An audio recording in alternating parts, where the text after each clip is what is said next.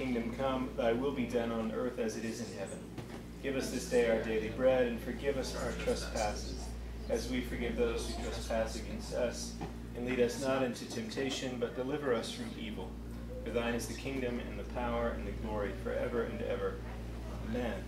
O Lord, our heavenly Father, almighty and everlasting God, who has safely brought us to the beginning of this day, defend us in the same with thy mighty power, and grant that this day we fall into no sin, neither run into any kind of danger, but that all our doings, being ordered by thy governance, may be righteous in thy sight. Through Jesus Christ our Lord. Amen. Lord, we beseech thee, grant thy people grace to withstand the temptations of the world, the flesh, and the devil, and with pure hearts and minds to follow thee, the only God, through Jesus Christ our Lord. Amen. The grace of our Lord Jesus Christ, and the love of God, and the fellowship of the Holy Ghost be with us all evermore. Amen. Okay, so we'll go ahead and uh, read our passage from Matthew. We'll say a few things about it. This is actually right where we left off uh, last week. So, Matthew 22, beginning at the beginning of that chapter. Matthew 22, beginning verse 1 says, uh, Again, Jesus spoke to them in parables, saying, The kingdom of heaven may be compared to a king who gave a wedding feast for his son, and sent his servants to call those who were invited to the wedding feast but they would not come. Again, he sent other servants, saying, Tell those who are invited, See, I have prepared my dinner. My oxen and my fat calves have been slaughtered, and everything is ready. Come to the wedding feast. But they paid no attention and went off, one to his farm, another to his business, while the rest seized his servants, treated them shamefully, and killed them. The king was angry, and he sent his troops and destroyed those murderers and burned their city. Then he said to his servants, The wedding feast is ready, but those invited were not worthy. Go therefore to the main roads and invite to the wedding feast as many as you find. And those servants went out into the roads and gathered all whom they found, both bad and good. So the wedding hall was filled with guests. But when the king came in to look at the guests, he saw there a man who had no wedding garment, and he said to him, Friend, how did you get in here without a wedding garment? He was speechless. And the king said to the attendants, Bind him hand and foot, and cast him into the outer darkness. In that place there will be weeping and gnashing of teeth, for many are called, but few are chosen. So we talked about sequels last week, right? Uh, reboots, stories that echo other stories. Uh, that was our opening analogy. We talked about the movie Enola Holmes uh, and the Sherlock Holmes stories, and we mentioned some other things, Star Wars. Um, what did we say? Anybody remember what we said about sequels and reboots? Other than knocking Star Wars, we've already mentioned Star Wars this morning. Uh, Prequels are better than sequels. we noticed that in Matthew uh, 21, in the story in Matthew chapter 21, which is another parable, the parable of the wicked tenants, uh, they were supposed to be looking after the vineyard, and that story sort of echoed uh, an Old Testament story from Isaiah chapter 5.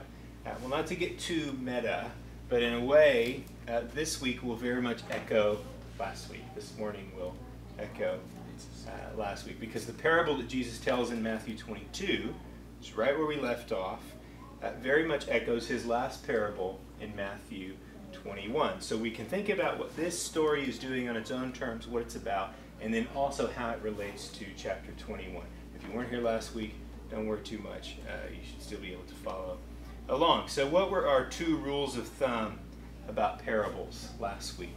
May you remember? I said, mimic an Old Testament story. All right. The one is that uh, Jesus' parables usually lean on or retell some Old Testament story uh, or borrow some Old Testament imagery. So, how did we see that play out last week in Matthew 21, the parable of the wicked tenants?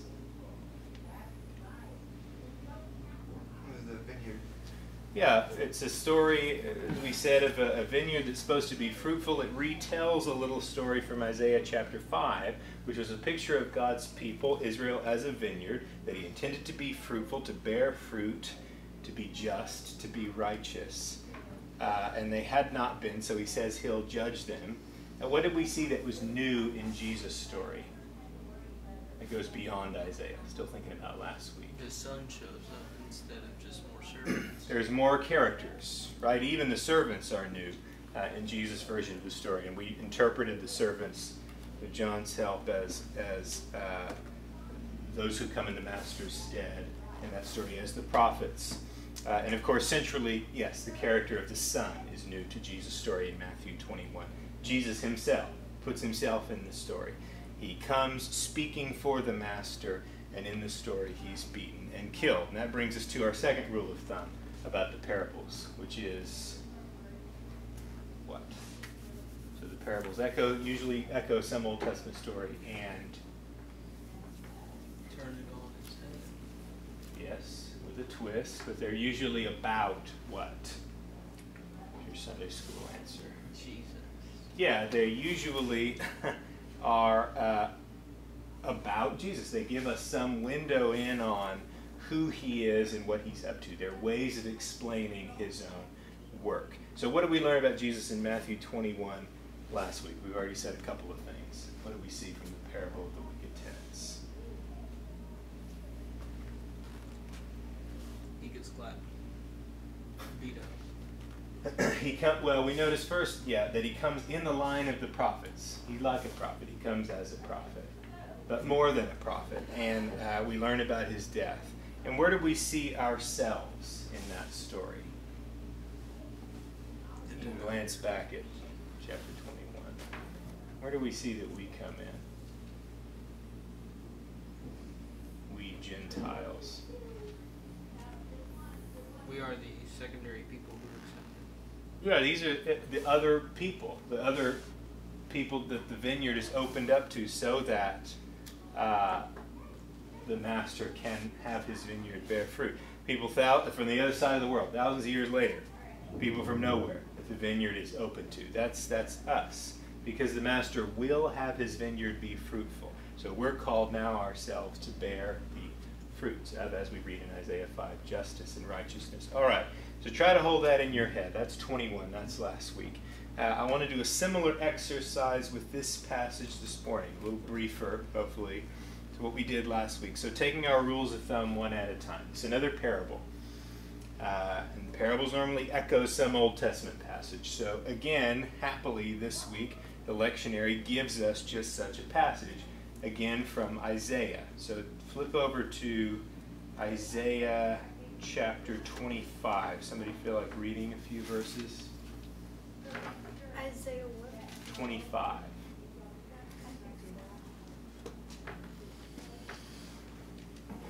Just starting at verse 1. Yeah, Isaiah 25, 1 through 9. Okay. O Lord, you are my God. I will exalt you, I will praise your name. For you have done wonderful things, plans formed of old, faithful and sure. For you have made the city a heap, the fortified city a ruin. The foreigner's palace is a city no more, it will never be rebuilt. Therefore, strong peoples will glorify you, cities of ruthless nations will fear you. For you have been a stronghold to the poor a stronghold to the needy in his distress, a shelter from the storm and a shade from the heat. For the breath of the ruthless is like a storm against a wall, like heat in a dry place. You subdue the noise of the foreigners, as heat by the shade of a cloud. So the song of the ruthless is put down. On this mountain the Lord of hosts will make for all people a feast of rich food, a feast of well-aged wine, of rich food full of marrow, of aged wine well refined. And he will swallow up on this mountain covering that is cast over all peoples, the veil that is spread over all nations. He will swallow up death forever, and the Lord God will wipe away tears from all faces, and the reproach of his people he will take away from the earth. For the Lord has spoken. It will be said on that day, Behold, this is our God. We have waited for him that he might save us. This is the Lord. We have waited for him. Let us be glad and rejoice in his salvation. What do we see? What would you say this passage is about? The destruction of nations. Okay. Where do you see that? Their city falls and should not be rebuilt. Yeah. There's some destruction, some judgment. What else? What else is going on here? There is some judgment and destruction. Maybe God's provision for his people. The appointed psalm today is Psalm 23, so think about that in connection with this passage. What do we see? What's the picture of God here? Kind but wrathful. Okay, yeah. So to elaborate on both of those a little, it's God, the God who's worthy of his people's praise. That's how the passage starts. Sheltering them, sustaining them in his kindness. Uh, what's going on in verse 7? Swallowing up the covering that is cast on the people and the veil that is spread over the nations. God removing the separation between his people and the nations. Interesting. Keep that in mind as we move back into Matthew. Verse 8 is probably familiar to you if you remember from our Revelation series. That last year? This line is quoted in Revelation. Probably better known from the Revelation quotation, but it's quoted from this passage. God's care and kindness, care for and kindness to his people. So, what's familiar having read Matthew 22? What does Jesus borrow or echo from this passage in Isaiah? The destruction of people. That's part of it. Yeah. Big destruction focus going on this one. Uh, as soon What as I heard the city There's a more obvious one, rebuilt. but that's part of it, yeah. Constantinople. Good. Saw stuff on that. Yeah. What's the big one? What's the, the central kind of I- image here that Jesus borrows in his story that he tells? Yeah. Yeah, the feast. It's a wedding feast, right? It's this big, rich food and wine. Um, Isaiah 25 is about God giving his people this rich feast. And that's the heart of the story that Jesus tells in Matthew 22. Um, the wedding feast. What's new in Jesus' story? What does Jesus add to this story in addition to the feast stuff? Wedding. It's a wedding, yeah, right? That's a good catch. Actually, not a wedding in Isaiah 25, right? It's just a feast. So there's a wedding on behalf of whom? Whose wedding?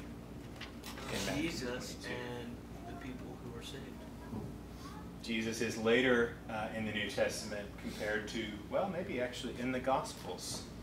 Good little catch for somebody to throw at me as the bridegroom in the church as the bride of Christ. Oh, but the Son is the one whose wedding it is in Matthew 22. So more characters again, right? So he has a king, and there's the king's son, and there's servants. So it's very like the parable of the tenants in Matthew 21. Uh, and some of the servants are seized and killed again. What else happens? the king comes in judgment and destruction, as John was so keen to point out. And the servants are told to go out and just find people off the streets to invite to the feast, to bring in both the bad and the good, it says in verse 10. I'm back in Matthew 22 now. Till the wedding hall is filled with guests. Our second rule of thumb what do we learn about Jesus? He don't discriminate between the sinners and the saints. All right. Why do you say that? Because he said find good and bad. Yeah, very interesting in verse 10. The servants are told to go and invite to the wedding both the good and bad, just everybody. We might say, in the same way that uh, in Matthew 21, part of the point is that even though the people that the master left in charge didn't do what they were supposed to do, the master still intends that his vineyard will be fruitful. It will be fruitful. So he gives it to others so that it will be. Uh, likewise, here, even though the people who were invited to the wedding feast don't want to come, the king, the father of the son, is still going to have it the feast. Uh, the kingdom that Jesus is bringing into the world is happening. Even though he's rejected, even though he'll be killed, God's work will not be stopped. His vineyard will be fruitful. He will give a wedding feast. His kingdom will come. He will accomplish his work of saving his people from sin and death so that they can be fruitful, so that they can grow into the people He's made them to be. And He will sustain them and give them cause to celebrate. So you see how this passage is, is like chapter 21. Um, it makes the same points as that parable. Jesus is saying again that he is God's son, come to his people to bring in God's kingdom, which will be brought in.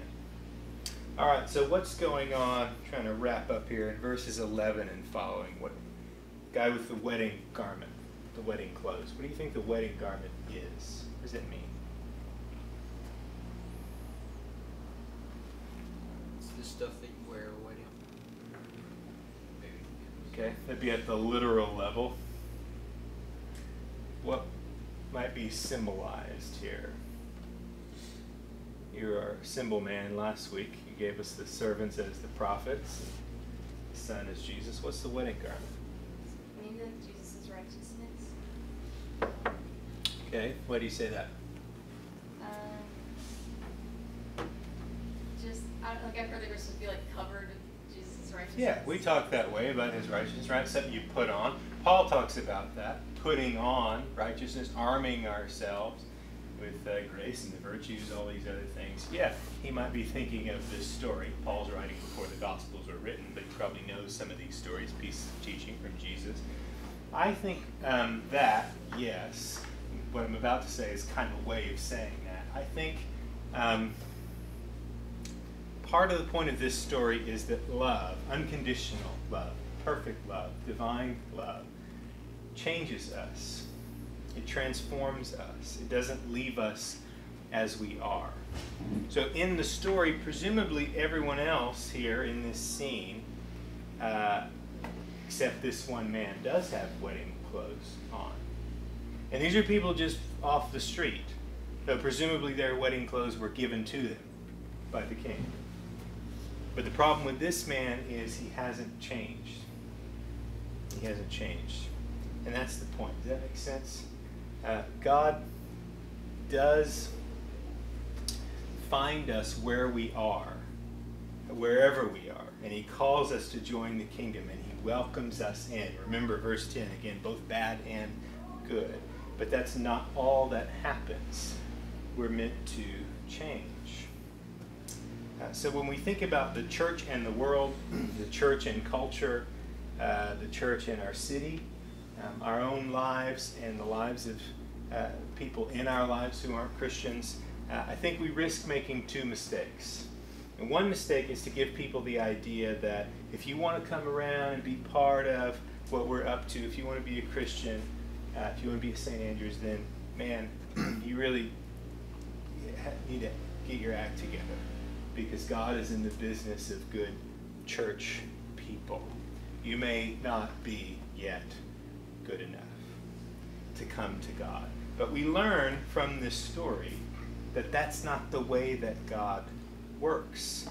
He says in verse 9 Go out to the main roads and invite to the wedding feast as many as you can find, both bad and good, so that the wedding hall is filled with guests.